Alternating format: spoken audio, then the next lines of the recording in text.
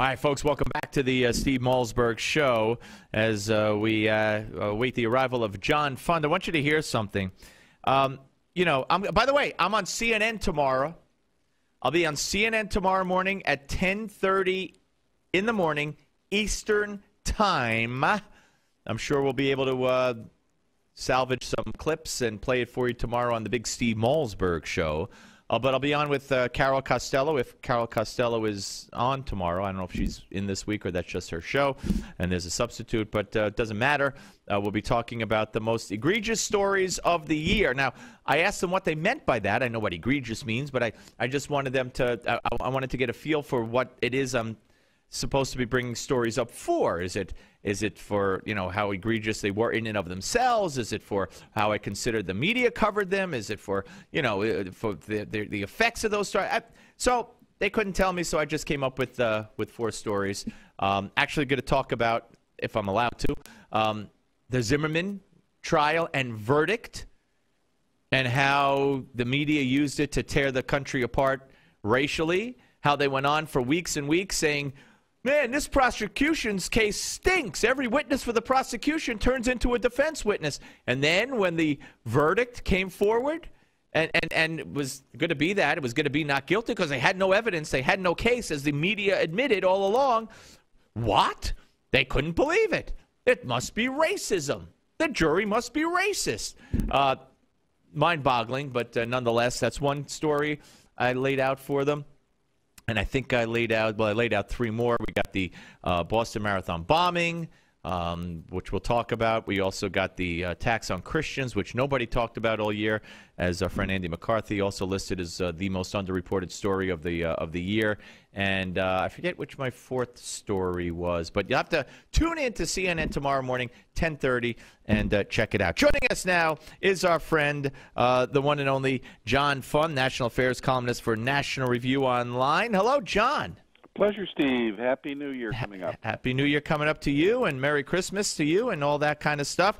Um, let's let's talk about uh, uh, your most recent, or the the one I saw from right before Christmas on uh, National Review, where you you wrote a brilliant column, and this was in the wake of um, the Target scandal, uh, or the uh, the revelations from Target to its 40 million customers who used credit cards during a certain time period that much of their information may have been stolen, and they're required to release that information under the law. Uh, they're, re- they're, required to release the data breach. Yes, right. the, the, data breach. And uh, then you found another uh, a government program known as Obamacare, where if that were to happen, they don't have to tell the people who might have been breached anything, do they? No, they've exempted themselves from the law, and it's just appalling. I mean, every private business, if you get if you're a customer and you get hacked, they have to tell you at least about it so you can change your credit cards or take other precautions. State exchanges, the state healthcare exchanges, several states have them. They have to, in most cases, tell you, but not the federal government. In other words, Steve, it's one law for thee and one law for me is the government's attitude. And and this happened at a at a, a meeting uh, back in March of, uh, of 2012. Yeah. They had a meeting on the final rules of Obamacare. Security experts showed up and testified and said, you know, you've got to include this warning, this transparency rule. And they said, no, we choose not to. Never mind. Now, the, the reason why that's important is this.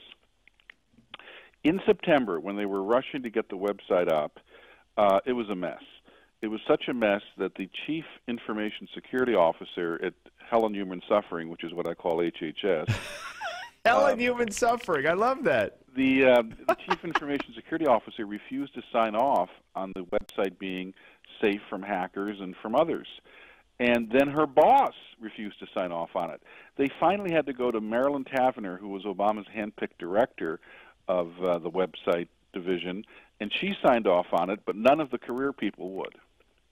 That is just incredible. When, as you point out in the piece, Uh, you know, you couldn't find many uh, cybersecurity people or, or, security experts when it comes to this that are willing to vouch for this. We heard them testify before before Congress, um, and I remember the no, no, no, no. There were one, two, three, four. Yeah, four no's when uh, one Republican congressman asked four cybersecurity experts, you know, do you believe that this is secure? And, you know, the be all end all answer, and they all said one after the other, no, no, no, no. Uh, and of course, we've had uh, um, uh, hackers testify before Congress that this is easily hackable. So the security, it's not as if anybody is even working under the assumption that it's secure in the first place. And then if you're hacked, if they get it, they don't even have to tell you. So what does this mean for the American public, basically, I guess, well, that they're screwed? It's not just computer hackers that we have to worry about. It's these navigators, you know, these hundreds of thousands of people that work for Obama-style nonprofits uh, that are supporters of the president. They've been paid to go out and sit down and hold people's hands and try to navigate them through the system. But they, there are no background checks on these people. Right. If they have a criminal record and they're identity thieves, they don't have to disclose that. We can't know about it. So these navigators are potential time bombs. They could become predators rather than navigators. Yeah, as, as again, during testimony, Kathleen Sebelius admitted, when asked uh, in so many words, uh, uh, is it possible that uh, the, the person taking your information uh, is a convicted felon who, you know, and she said, yes, we don't run background checks on them. So it is possible. So, well, and, and this, this makes it even more bizarre. 2010, we had the U.S. Census and you know we had hundreds of thousands of people hired to go count people and all they did was count people we had background checks for them. The navigators have access to the Federal Data Hub, which is the conglomeration of all of the data that is held on about you and your listeners.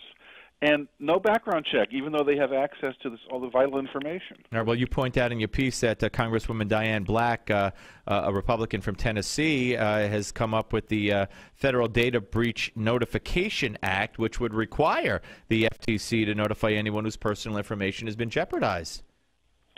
Well, and so far, you know, she's getting going through the hearings, and we hope that it'll pass the House.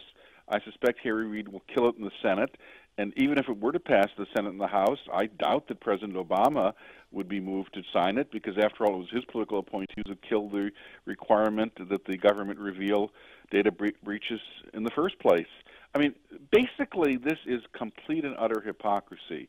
And at every point, it's almost as if this website isn't a help to the American people; it's a weapon pointed at them. Absolutely, and that, that that's another column that preceded this one that I want to talk about. Uh, but we're talking to John Fund here, national affairs columnist for National Review Online, here on the Steve Malzberg Show.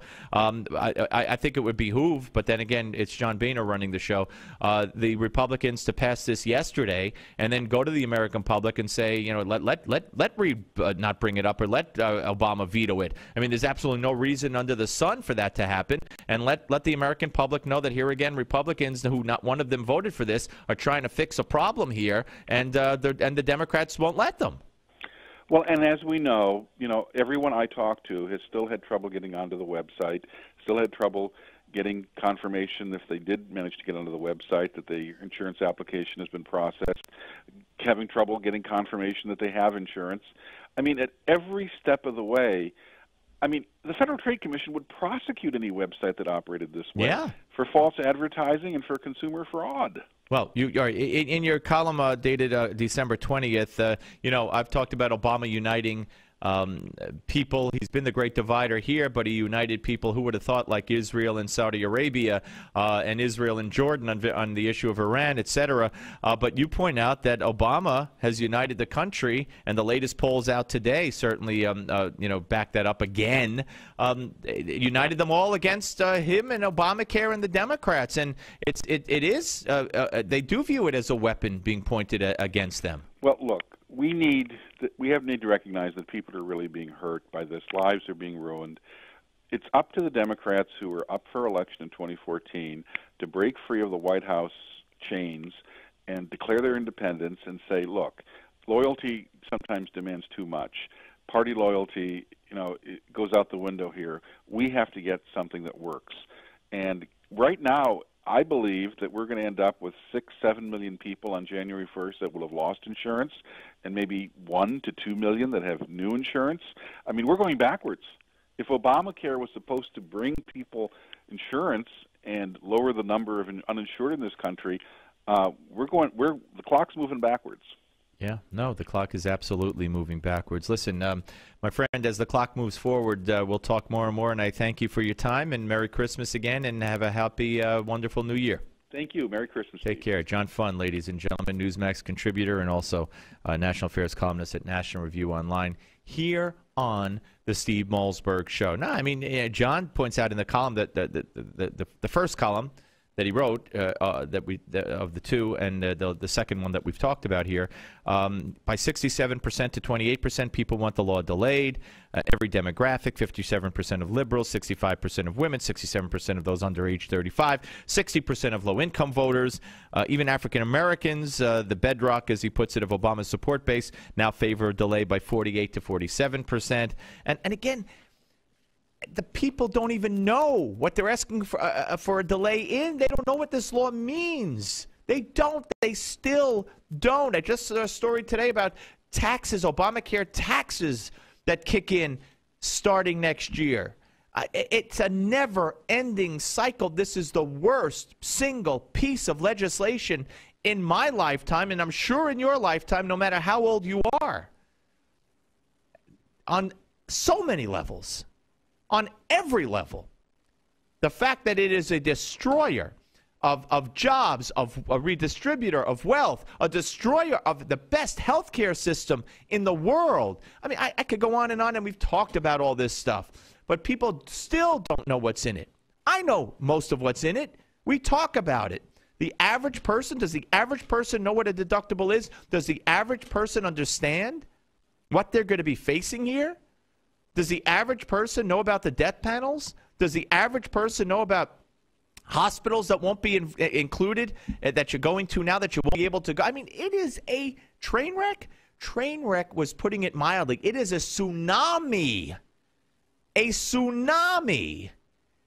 And yet, there, like like John said, it's up to Democrats to break away from the White House and to revolt against Harry Reid in the Senate and say, bring this stuff up. We have to do, we have to fix this. We have to change this. We have to start from scratch. Sorry, Harry. Sorry, President Obama. I don't see how they possibly, possibly even run for reelection in the Senate if they don't take that path. But I see no indication that they're going to take that path, no indication whatsoever that they're going to take that path. Do you? All right, folks. Uh, we're coming back. I want you to hear some uh, some crazy sound bites. I love playing these things. Um, we'll play them for you when we come back. Final segment of the day after Christmas show on the Steve Malzberg Show on Newsmax TV and radio. The